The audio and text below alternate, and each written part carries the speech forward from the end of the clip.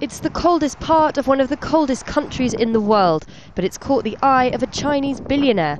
300 square kilometers of Icelandic wilderness that could become a tourist resort if Huang Nubo gets his way.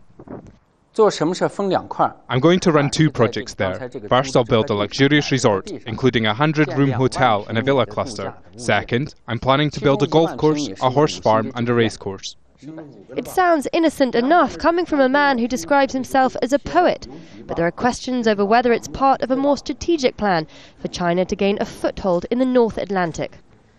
The tract of land is around Grimstadir in the northeast of the country, but the island itself lies just 3,500 kilometers from the United States and is close to the Arctic Ocean, where nations are already competing for unexploited resources. Nubo is an ex Communist Party official, but denies any political motivations behind the project. He says it's just one of many nature retreats he plans to build in the Nordic region. But analysts note the deal fits with China's expansion policy.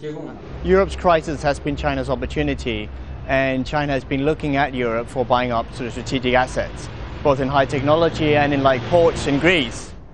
Iceland's economy was devastated by the banking collapse, and the country is looking for a cash injection. This is uh, in alignment with uh, the government policy of increasing foreign investment in Iceland, of uh, promoting Iceland as a tourist destination.